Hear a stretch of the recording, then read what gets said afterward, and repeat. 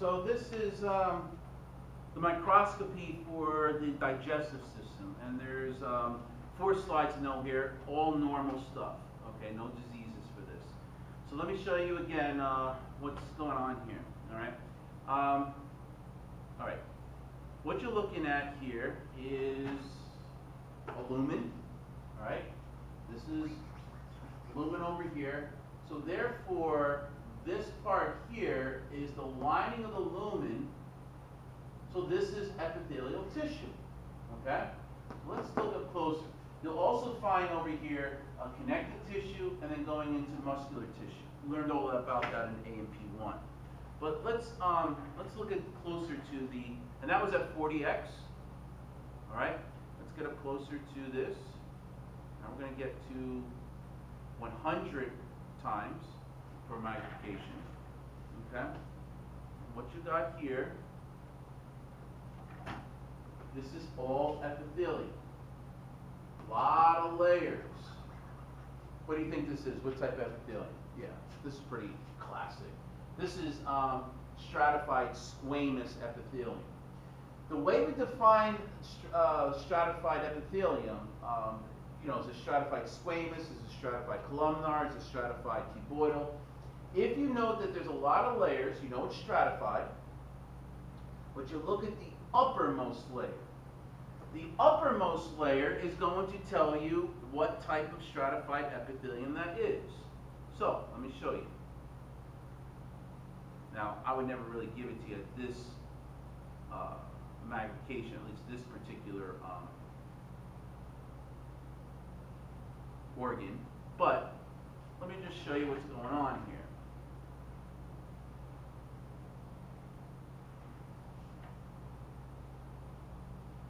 All right, a lot of layers is all the epithelium, much closer, so it's hard to uh, uh, visualize what's going on. But yeah, that's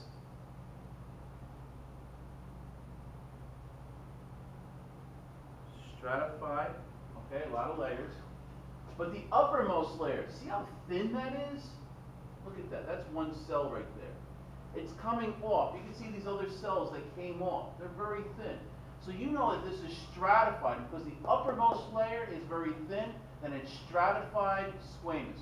Should those upper layers, if they're attached over here, of course, but if they were like cubes, then we say it's stratified cuboidal. If it's columns, of course, then we say uh, stratified columnar. But that's stratified squamous, okay? What kind of organs would you find in stratified squamous? Skin, right. Skin is a, uh, you learned that from A&P1. Skin is pretty classic. Um, what's the function of, uh, of stratified squamous? Yeah, protection. In one word, you wouldn't expect this epithelium to be put in um, in your lungs because like I showed you before, you're not going to have good gas exchange going through here, right? Sorry. All right. Well, you should learn that anyway from A&P1. If oxygen needs to go from here over to here, you're not going to expect to have many layers because then the oxygen has to pass through all this area just to come over here. It's not suited for that. Okay? So you don't expect any kind of gas exchange or diffusion to really take place in stratified squamous. However, you do expect protection. If this is on your skin, you would want that there. You don't want simple squamous epithelium to be on your skin. You touch something hot, immediately it goes into the underlying tissues. Because there's only one layer there that's thin. When you have many layers here, then yeah, it makes sense that that's going to protect. You touch something hot on your skin, it has to pass through all those layers to get to the underlying layers. Okay? So, um, so in one word, the function for stratified squamous, for function, is protection. So why am I showing you this if it's digestive? If the skin is not part of the digestive system. No, but the esophagus is. Okay? When you drink hot liquids or cold liquids, you don't want to have your esophagus to be having one layer so that it's going to burn right through there to get the underlying tissues like your, your uh, connective tissues and muscles and whatnot. So your, your esophagus is going to have many layers here. It's going to be stratified squamous. Okay? And that's really all you have to worry about in terms of microscopy for the esophagus. Okay? Any questions about that? Okay. Do our next one.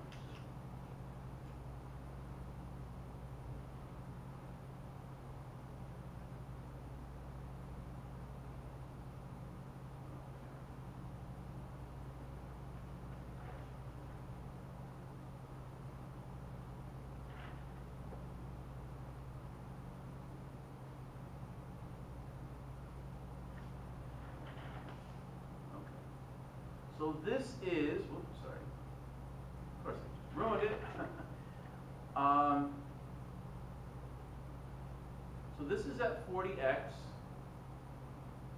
and you can already pick out a few things here, some features. Okay. Um, first off, you can see it's going. It's like making these folds, right? Keep an eye on that. I'll get back to that. You also notice that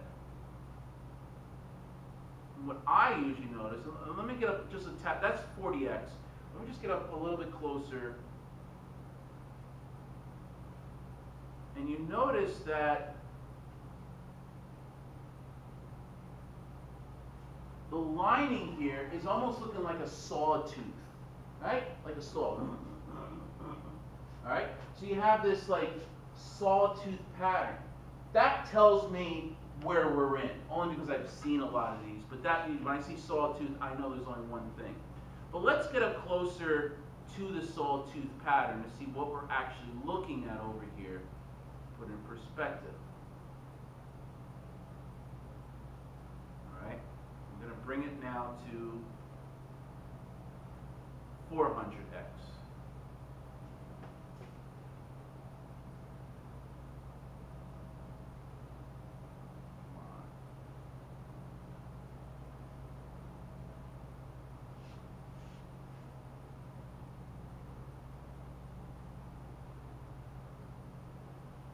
Okay. A little bit better. Getting like this. Uh, okay. So what you're looking at here, there's a sawtooth, right? It's going in and in and in and here. What you're looking at over here is a certain thing that's going to help you out, especially when you do lecture. What you got here is this. Kind of shaped like this. Okay? What we're looking at is, well, what organ we're in is the stomach. And this structure that I'm pointing at right here, all right, this, this, this one's more classic, but this is what we call a gastric pit. Now, from the stomach all the way down until the end of the colon, the epithelium is no longer stratified squamous, but is now uh, simple columnar epithelium. And if you look at really close, you'll be able to appreciate a little bit over here, okay? So we have simple columnar epithelium. So we have, and I'll just draw very quickly over here. Simple columnar epithelium. And they're very long, there's only one layer there. The nucleus is usually pushed down to the base of each one of these cells. Okay? And around the neck, that's what we call the bottleneck over here, around the neck area, we also have cells that are called goblet cells. What do goblet cells secrete? Mucus. Okay, they're pretty classic what they are. Since there's a lot of mucus inside here, uh, it repels stains. So they're usually not stained very well. They look like little uh, little white balls. I little I call them Casper the Friendly Ghost. And that's basically what they are. They need a special stain to do that. Okay? And it releases mucus. And that's what you're seeing mainly here in this white area. This is all mucus that's uh, located in the gastric pits. But then there's also going to be a bunch of other cells, which I'm not going to go into with the microscopy. Look at the lecture portion. But what's happening is you have things like chief cells over here. All right, chief cells. You're going to have also um, parietal cells. I'm trying to see what other colors I can use. Parietal cells over here releases hydrochloric acid. Okay, and pepsin. All right. And what's going to happen is these cells over here are going to secrete a bunch of different things. So you're going to have like hydrochloric acid going in here, you're going to have pepsin over here, you're going to have mucus coming out into this area over here. It's going to all mix in these areas over here, okay? And when it does, you got intrinsic factor also that's going here. When it does, it's going to mix it all in here, and then it's going to spew it out into the lumen of the stomach basically how gastric pits are. They're lined with a lot of secreting different, uh, different secreting uh, cells, whether mucus, hydrochloric acid, intrinsic factor, pepsin to break down uh, proteins. It's going to put that all in here, and then it's going to spill out into the lumen of the stomach. And that's what the gastric pits are basically doing. Okay? Um, there's thousands and thousands of gastric pits in your stomach. Okay? And that's what's happening there. All right? So that's at uh, 400x. All right? Go back. This is at 100x.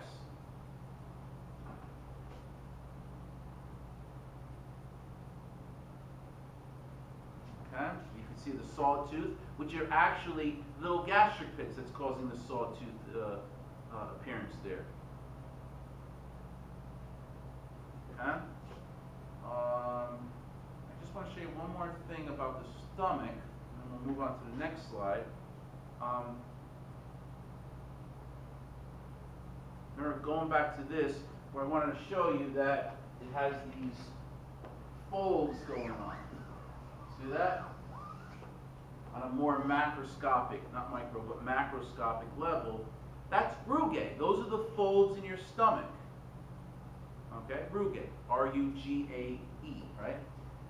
That allows your stomach to have these, well, it's these folds, and when food goes in your stomach, the fold, folds go away. It allows the stomach to distend even bigger. Okay, so that's what's happening there. All right, questions on the stomach? All right, good. Let's go to the next one.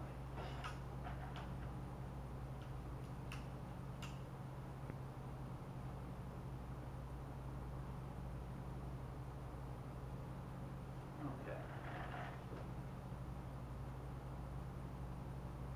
All right, that's pretty good. That's at 40x. And what you definitely can see over here is finger-like projections. See that? You got finger-like projections coming up. Okay? What you're looking at here is what? What are those structures called? That's villi. And where, what organ are we in? The small intestines. All right?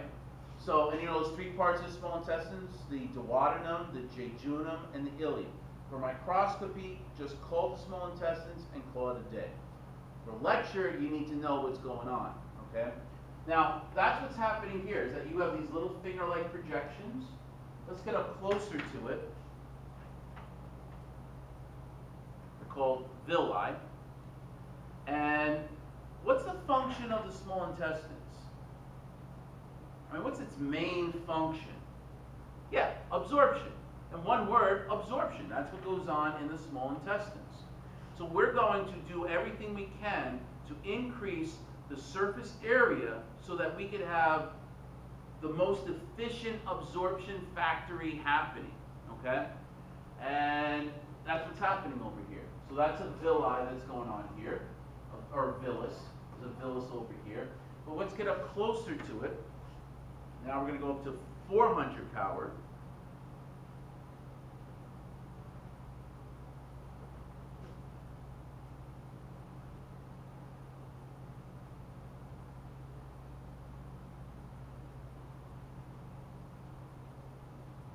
Okay.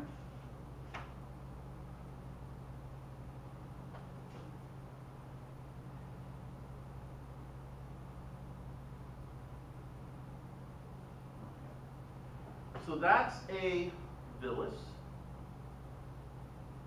Okay. Um, good picture there. All right. So this is a villus, and what you're seeing. Let me erase this for a moment.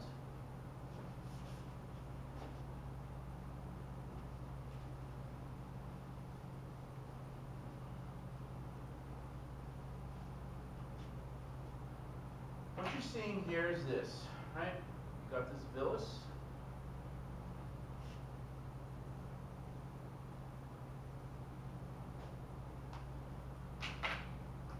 And we have uh, simple columnar epithelium. All right? The, the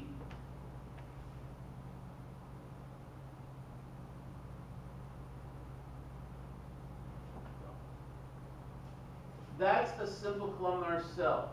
Very long. The nucleus itself, the dark nucleus, is kind of pushed down to the base, uh, basal area of the cell. But all of that, those are all simple columnar epitheliums. Or, uh, I'm sorry, the simple columnar cells in the epitheliums. Remember what I said? Stomach all the way down is going to be lined with simple columnar epithelium. You also have tons of goblet cells. As we get closer to the colon, which we'll be talking soon, we're going to have lots of uh, uh, um, goblet cells there. These goblet cells, they don't stain very well, as I explained, because they're filled with mucus and they kind of repel stains. But we have these little Casper the friendly ghosts, the goblet cells, and those are going to release or secrete uh, mucus, okay? Which is going to help with uh, digestion and also uh, the mucus that comes out of this is more of an alkaline uh, um, alkaline base to it.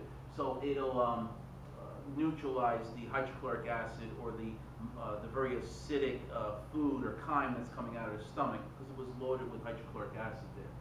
So, um, but that's what's happening there. The other thing is that these villi are going to have microvilli coming out of it. Now I'm just drawing it bigger so you can see it, but I'm not drawing it to scale. It'll be much smaller than. But that's microvilli that's all coming out of here. Okay? So this is the reason why we have this. We can have absorption happening here and happening here and happening here. But we can also have absorption happening here and here. We're increasing the surface area astronomically by having just, not just the villus or the villi, but also the microvilli. The best way I could explain what this is, is that think of a rug. You have a rug where you have those bristles coming up, those are your villi, and then you look at it really close, you see hairs coming out of them, right? That's your microvilli. And that's what you gotta see. It's, and the purpose of the villi and the microvilli is to increase surface area so that we get a massive amount of absorption happening in this organ. Now, unfortunately, you can't see the microvilli with our light microscopes that we have here at the college. Okay, you really need to uh, get yourself your- on um, your hands on an electron microscope, which makes things you can see things much more closely. But you can't see that. Instead, what you're going to see, and I don't know if you can see it well on this um, this video here, but you can see a darker pink line all going over this. There's a dark pink line over here. That dark pink line is the microvilli, but it has a special name. It looks like a nice dark pink border around here. We call it the brush border. So the brush border is found in the small intestines and is composed of microvilli. A lot of students off to the side, just let you know, a lot of students think that cilia there. Cilia is not a part of the small intestines. Okay? It's really not a part of any of the digestive system. People think that cilia and microvilli, well, they one and the same. They're totally different structures. Microvilli just sit there. Cilia move and sweep, right? You can see cilia, as I showed you, with the trachea, that kind of thing, all right, to sweep that uh, mucus up. So the dark pink lot border around here is called the brush border. It contains microvilli. Okay? And what happens here, after all the absorption of all the digestive um, products that you make from proteins and carbohydrates and stuff, what's found in the villus is going to be capillaries. So when the absorption happens, it's going to go into the capillaries of the villi.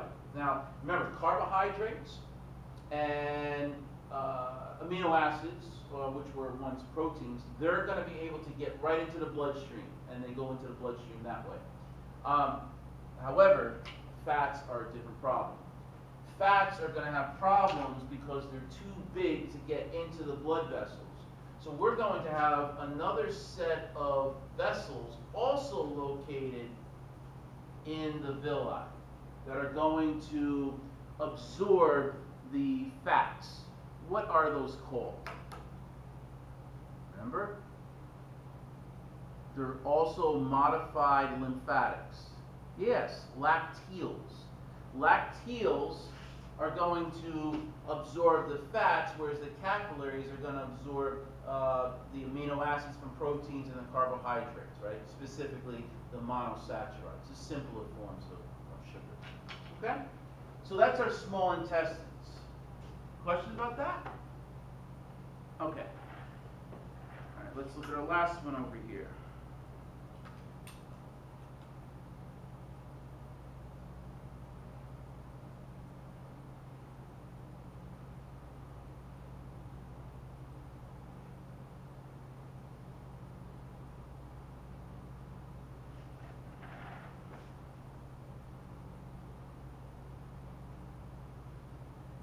Okay.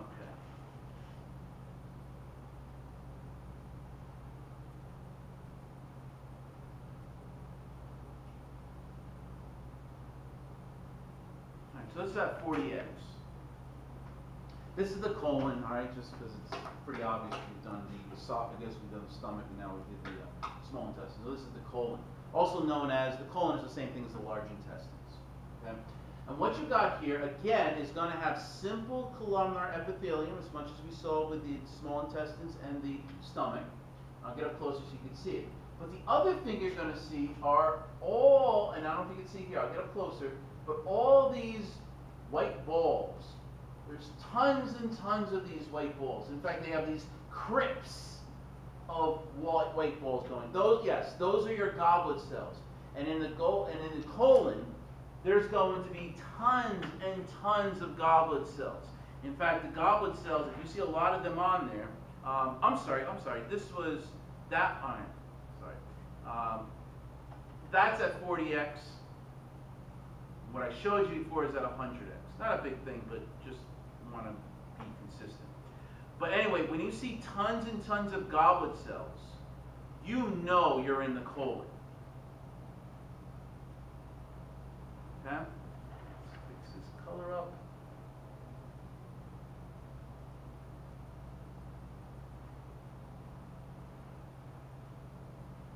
Okay. This is at 400x. Okay.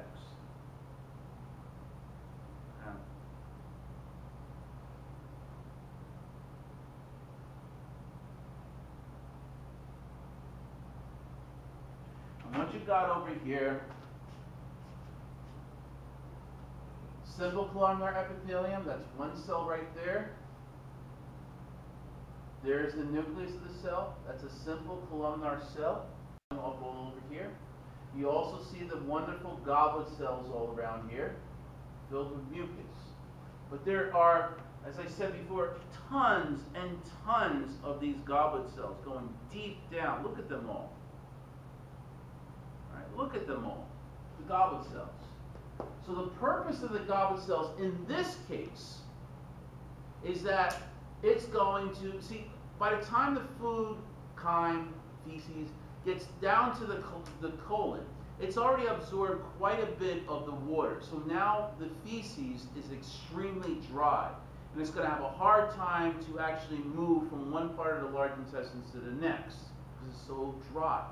So we need some form of lubrication to get it going, to move it forward with the peristalsis. So the large intestines, it makes sense to have a lot of goblet cells there to add for lubrication so that it can actually move the feces. Now, what I didn't tell you before, the purpose of the, uh, the goblet cells in the, um, in the stomach is to create a barrier. You see, when the hydrochloric acid comes out of the stomach, it has a pH of 2. And that means that if you put a drop of hydrochloric acid on your hand, it will come out the other side. It's very, very acidic. It's a very strong acid. So you don't want hydrochloric acid to come in to your stomach and start eating away at your stomach. So we have uh, mucus that's coming out of the goblet cells in the stomach that's going to uh, create this barrier between the lumen of your stomach and the wall of your stomach, and that'll help it so it doesn't digest your your um, your own stomach. So again, uh, that's the goblet cell's purpose in the stomach. The purpose of the goblet cells um, in the small intestines is for some lubrication to move the food forward, but it's also there because it's, the um, mucus is an alkaline base, so it's also going to neutralize the acidic food that's going into the, uh, from the stomach going to the small intestines, so you don't eat away your own um, small intestines either.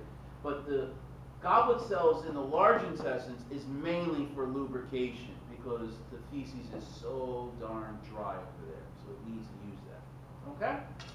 So those are our microscope slides of the um. The microscope slides of the digestive system. Okay? Um, so again, the four microscope slides for the digestive system is the esophagus. There's four of them. The esophagus, the stomach, the small intestines, and the large intestines, also known as the colon. Okay? Questions on those four slides?